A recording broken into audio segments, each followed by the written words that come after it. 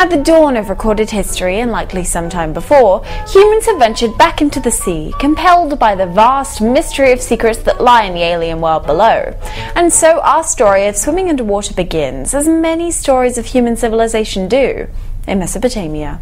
The Epic of Gilgamesh, written around 2700 BCE, is considered by many to include the first account of a person holding their breath while using stones to sink to the bottom of a body of water, much like we do today with weights of lead.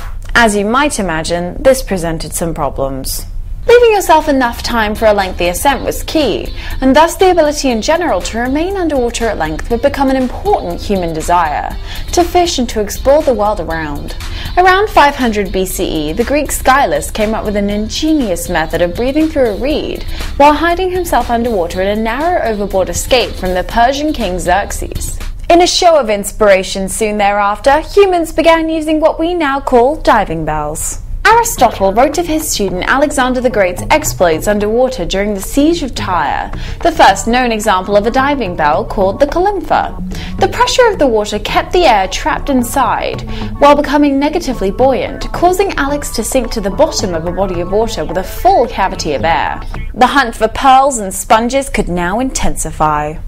For most of human history, retrieving sponges or pearls from oysters required divers to descend 100 feet down on a single breath, and the bells took them further. There was rarely a jewel more precious for a queen than a big old honking pearl, the biggest.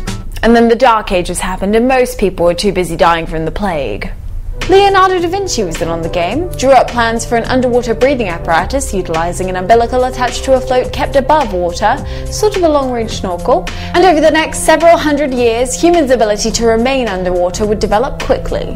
With the onset of the Industrial Revolution, pearls were a pleasure of the past, while moving earth and building bridges became the driving force of innovative underwater technology, leading right into decompression sickness, first reported in 1842.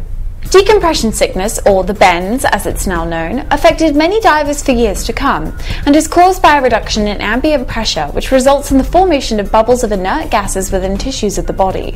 Thus divers must limit their ascent rate to about 10 meters per minute and carry out a decompression schedule as necessary until sufficient gas has been eliminated from the body to allow further ascent. Eventually, decompression tables were a must to aid divers in calculating how deep they can go, for how long, how to get back up, and how to mix their air. Can't argue that math class was needed now, can ya?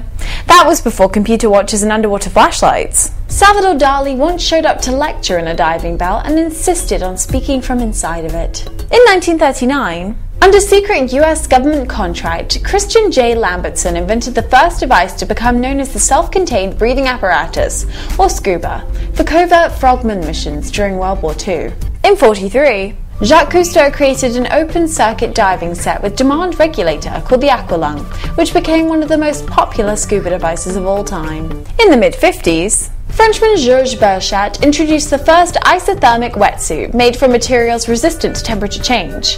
Although the wearer gets wet, they're not as likely to get as cold as with suits made from other materials. We've got the air, got the suits, monitors, maps, tables. What can't we do? The current world record for deepest scuba dive is just 330 meters, yet the deepest point in the ocean, 11,000 meters. Aside from decompression issues, temperatures are difficult to overcome. Nitrogen narcosis, or the NARCs, leads to numbness and memory impairment. Let's just say it's a lot of pressure.